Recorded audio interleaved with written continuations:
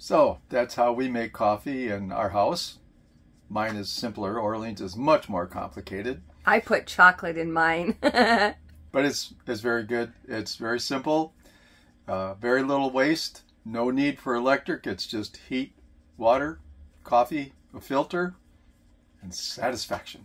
If you like this video, give it a big thumbs up. Hit the subscribe button down below if you haven't done it yet. And a little bell's gonna pop up. And a little bell's gonna pop up. Ring the bell.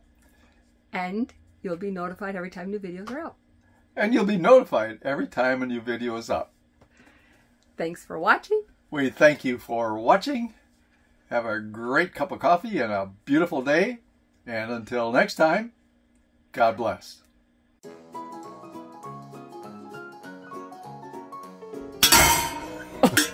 Jeez. Now let's try that again. Good Lord.